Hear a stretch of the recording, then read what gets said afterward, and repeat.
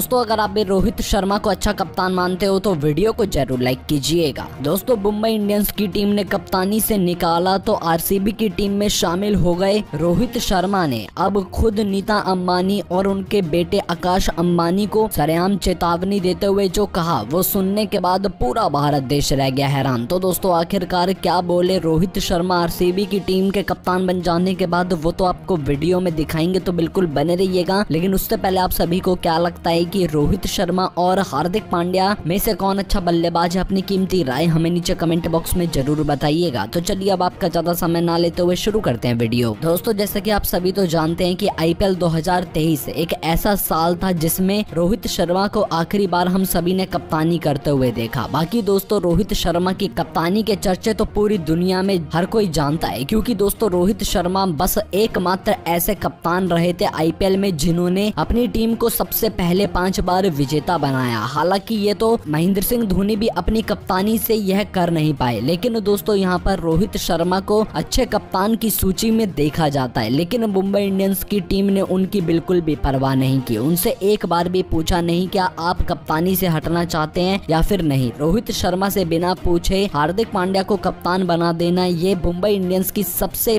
बेकार नतीजों में से एक रहा। लेकिन दोस्तों, हर कोई अब मांग कर रहा है कि रोहित शर्मा को मुंबई इंडियंस का कप्तान बनाया जाए और हम सब उनको बतौर कप्तान बस टीम इंडिया में खेलते हुए देखना चाहते हैं। और दोस्तों, अब मुंबई इंडियंस तो अपनी इस बात पर अड़ी गए कि वो हार्दिक पांड्या के साथ ही मैदान पर उतरेगी। लेकिन दोस्तों, रोहित शर्मा के पास कई टीम के ऑफ़र मिले थे उनको कि वो और भी टीमें ज्वाइन कर सकते हैं बतौर कप्तान के रूप में। जहाँ उन्होंने सबसे पहले तो आरसीबी की टीम का हाथ थामने का फैसला किया, क्योंकि दोस्तों आरसीबी की टीम ने करोड़ों रुपए देकर उनको अपनी टीम का कप्तान बनाने तक के लिए कह डाला। लेकिन दोस्तों, रोहित शर्मा ने आखिरकार अपना जितना भी आईपीएल में क्रिकेट खेला है, वो मुंबई इंडियंस फ्रेंचाइजी की तरफ़ से। और मुंबई इंडियंस भी नहीं चाहती कि रोहित शर्मा को अपनी टीम से हम निकाले। लेकिन दोस्तों, रोहित शर्मा को मजबूरी में अब आरसीबी की टीम का हाथ थामना पड़ रहा है। बतौर कप्तान उनकी टीम में वो खेलते हुए नज़र आएँगे। लेकिन दोस्तों, हर किसी को अब बस यही इंतज़ार है कि रोहित शर्मा आखिरकार आरसीबी की टीम में शामिल होकर मुंबई इंडियंस की टीम को हरा पाने में कामयाब होते हैं या फिर नहीं। हालाँकि दोस्तों आरसीबी ने इस बार ठान लिया है कि वो किसी भी हाल में आईपीएल की ट्रॉफी उठाने वाली है। इसीलिए रोहित शर्मा को बतौर कप्तान के रूप में खिलाना ये आरसीबी का सबसे अच्छा फैसला भी हो सकता है। और इस पर अब खुद रोहित शर्मा ने सामने आकर कहा कि मैं जानता हूँ कि मैंने जितना भी क्रिकेट में सीखा है, वो मुंबई इंडियंस की फ्रेंचाइजी में रहकर मैंने आईपीएल के सभी मुकाबले वहाँ से खेलने शुरू किए थे। लेकिन अपनी टीम को पाँच बार विजेता बनाने के बावजूद भी अगर आपको वो इज़्ज़त ना मिले कि आपको कप्तानी से हटाया जाए और वो भी बिना पूछे तो आपको बुरा तो लगता ही है। लेकिन मेरे पास और भी कई टीमों के ऑफ़र आए। उन्होंने मुझे करोड़ों रुपए देने तक के लिए भी कह डाला। लेकिन मैंने भी ठान लिया है कि मुंबई इंडियंस का साथ मैं कभी नहीं छोड़ूँगा। चाहे मुंबई इंडियंस मुझे कप्तान के रूप में खिलाए या फिर नहीं, लेकिन अगर वो मुझे निकालना ही चाहते हैं तो मैं आरसीबी की टीम में जाना सबसे ज़्यादा बेहतर ऑप्शन समझूँगा। क्योंकि आरसीबी में अच्छे से अच्छे बल्लेबाज और गेंदबाज मौजूद हैं, और वहाँ बस एक कप्तान की कमी है, जो कि मैं वहाँ जाकर पूरी कर सकता हूँ। और मुंबई इंडियंस की टीम को फिर हराने पर फोकस करूँगा। तो दोस्तों, यहाँ पर फिर उन्होंने यह तक कह डाला कि हमारी मालकिन नीता अंबानी और आकाश अंबानी काफ़ी अच्छे से सोचते हैं। उन्होंने हार्दिक पांड्या को कुछ सोच समझ कर ही कप्तान बनाया होगा। लेकिन अगर आरसीबी की टीम में मैं चला जाता हूँ और मुंबई इंडियंस मेरे सभी बॉन्ड को खत्म करने का ऐलान कर देती है तो मेरे लिए भी ये काफ़ी अच्छा ऑफ़र होगा। तो दोस्तों, अब आप सभी क्या मानते हैं कि रोहित शर्मा ने जो कहा है, वो बिल्कुल सही है। फिर गलत अपनी कीमती राय हमें नीचे कमेंट बॉक्स में कमेंट करके ज़रूर बताइएगा। आप रोहित शर्मा को अच्छा कप्तान मानते हो तो वीडियो को ज़रूर लाइक कीजिएगा। दोस्तों आईपीएल से ठीक पहले रोहित शर्मा ने कप्तानी से हटाए जाने के बाद आरसीबी की टीम के बने कप्तान लिया उनका ऑफ़र तो आखिरकार अब खुद सामने आकर मुकेश अम्बानी ने करी रोहित शर्मा से बड़ी अपील। वापस बुलाने के लिए दिया ऐसा नया ऑफ़र खुद सुनकर आपके भी उड़ जाएँगे होश। तो दोस्तों, आखिरकार रोहित शर्मा और मुकेश अम्बानी के बीच जो बातचीत हुई है, वो तो आपको वीडियो में दिखाएँगे। तो बिल्कुल बने रहिएगा अंत तक, लेकिन उससे पहले आप सभी को क्या लगता है कि रोहित शर्मा और हार्दिक पांड्या में से कौन अच्छा कप्तान है? अपनी कीमती राय हमें नीचे कमेंट बॉक्स में ज़रूर बताइएगा। तो चलिए अब आपका ज़्यादा समय ना लेते हुए शुरू करते हैं वीडियो। दोस्तों, जैसा कि आप सभी तो जानते हैं कि आईपीएल 2024 का आगाज़ अब से कुछ ही चंद दिनों बाद होने जा रहा है, जहाँ हम सभी को 22 तारीख को पहला मुकाबला चेन्नई सुपर किंग्स और रॉयल चैलेंजर्स बेंगलोर की टीम के बीच खेला जाता हुआ नज़र आएगा। लेकिन दोस्तों, यहाँ पर एक टीम के बीच उथल पुथल अभी भी जारी है, जहाँ उनकी टीम के कप्तान भले हार्दिक पांड्या बन चुके हैं, लेकिन दोस्तों फैंस बिल्कुल भी खुश नहीं है हार्दिक पांड्या को लेकर। और अब मुंबई इंडियंस की टीम को आखिरकार यह फैसला करना ही पड़ेगा कि अब वो हार्दिक पांड्या को हटाकर रोहित शर्मा को फिर से कप्तान नियुक्त करे। जी हाँ दोस्तों, ऐसा इसीलिए क्योंकि रोहित शर्मा ने फैसला कर लिया है कि वो मुंबई इंडियंस के लिए इस साल आईपीएल 2024 नहीं खेलने वाले हैं। अगर उनको कप्तानी पर नहीं लेकर आया गया तो क्योंकि दोस्तों, हम सभी जानते हैं कि मुंबई इंडियंस की टीम को पाँच बार विजेता बनाने का काम हार्दिक पांड्या ने नहीं, बल्कि रोहित शर्मा ने किया है। और मुंबई इंडियंस की टीम या फिर यूँ कहें कि चेन्नई सुपर किंग्स से पहले पाँच आईपीएल की ट्रॉफी जीतने में कामयाब रही थी। और हार्दिक पांड्या की कप्तानी के आगे रोहित शर्मा की कप्तानी का कोई मैच नहीं कर सकता। और ऐसे में दोस्तों, अब हार्दिक पांड्या पर ज़्यादा भरोसा मुंबई की फ्रेंचाइजी ने जताया है, जिसके बाद दर्शक तो निराश थे। लेकिन दोस्तों, यहाँ पर मुंबई इंडियंस टीम के कप्तान रोहित शर्मा ने आखिरकार अब सभी बॉन्ड्स मुंबई इंडियंस की टीम के साथ डिस्ट्रॉय करने का फैसला कर लिया है। और ऐसे में अब मुंबई इंडियंस की टीम की तरफ़ से हम सभी को रोहित शर्मा खेलते हुए नज़र नहीं आने वाले हैं। और दोस्तों, आखिरकार इस